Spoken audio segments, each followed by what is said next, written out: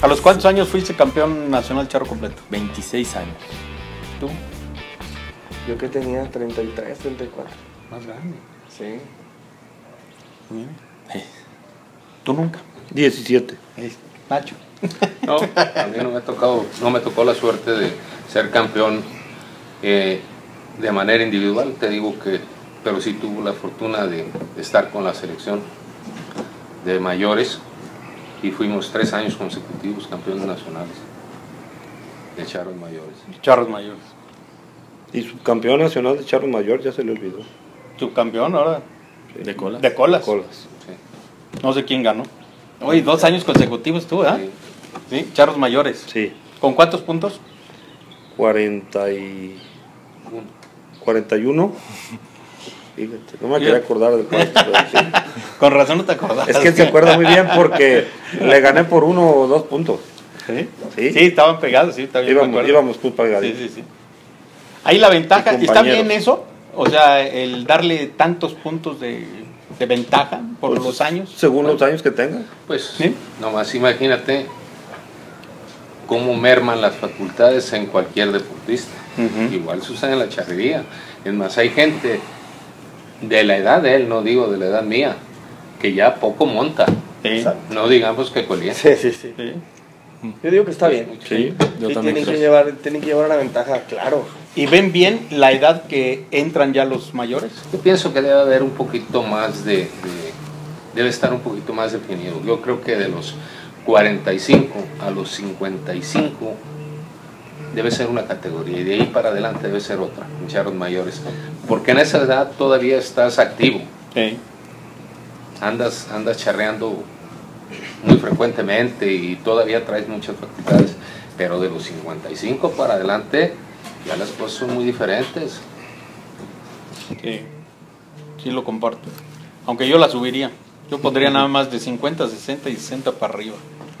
Porque sí, hay muchos todavía de 45 años, Sí. Que charrean muy 48, que charrean, charrean bien y todo. Ahora- Que todavía Sí, charrean, sí, sí. todavía están activos. Sí. No, no les ha tocado ganar a esos.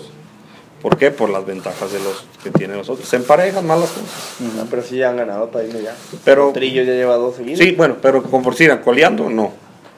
Ah, bueno, bueno. Porque es, es mucha Pero ventajita. ya en equipo sí. En equipo ya, ya no fallan. En equipo, en equipo sí han ganado. Porque estás mucho más atrasado. andan en activos, flor- sí, floreo andan. y todo lo demás, y ellos están actualizados. Están actualizados Sí. en el floreo, llevan mucha ventaja. Sí, Sobre claro. todo ahí. Ahí, ahí en el floreo es Sí. en donde... Es donde más. Sí, porque los otros... Pues, se Y ahí tiraban. no hay, no hay handicap. No hay. O sea, ahí no te dan ventaja por la edad. Sí, sí dan Sí, algo, sí, sí, sí dan, sí dan, Sí. sí dan. Sí dan. No me acuerdo yo. Sí, sí dan. ¿Manganas? Sí dan. también, pero, Pero eh, la persona modos, de 60 años no te tira una mangana de los de, las, de, los de 45, No. 50. No, no. o sea, y, y por más ventaja que te den, pues el, Claro. es, es difícil. Pero, digo, se ha visto lo ¿Qué que edad dicen. tiene Javier Flores? Pues Javier debe tener 50 años.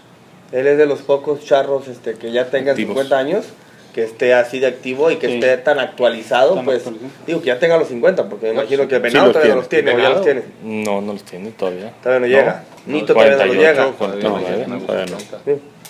Javier sí debe tener ya los 50. Poniendo un Sí. ejemplo, Javier sí este Y, y Javier ya mermó Sí, sí, por, claro. por lo de su operación, digo, con todo. ¿Con quién está charreando ahorita? Con Agua Santa, todavía.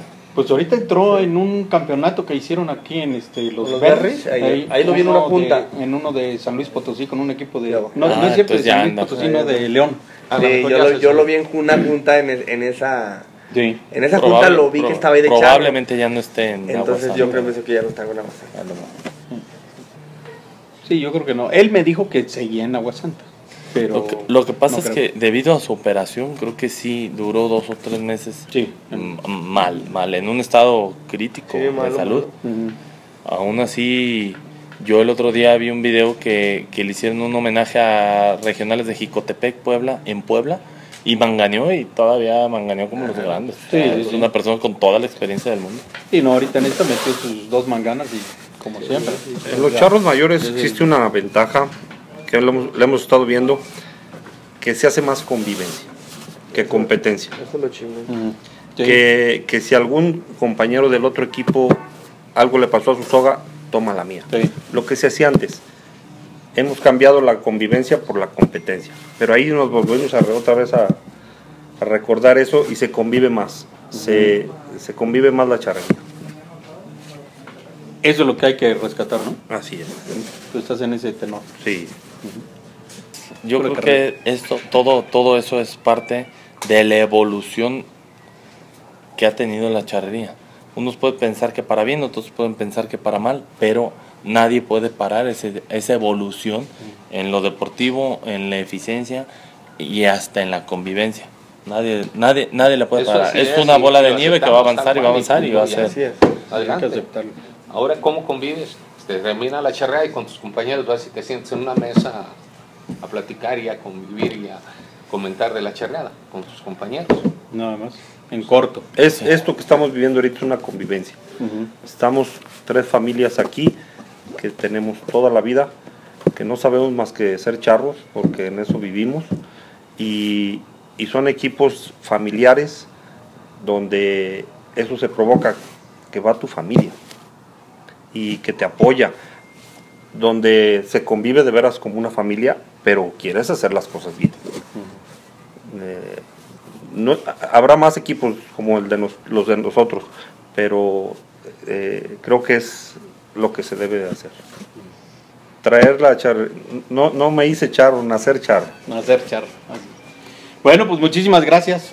Gracias este, por acompañarnos en este nuevo proyecto que, bueno, son parte de la charrería, parte importante sobre todo, y que nosotros como medios de, de comunicación pues queremos también que los conozcan, que sepan un poquito más, que conozcan la charrería, que conozcan el deporte y que conozcan a los mejores charros. Muchísimas gracias. Gracias a ti. Gracias a ti. Gracias, Memo.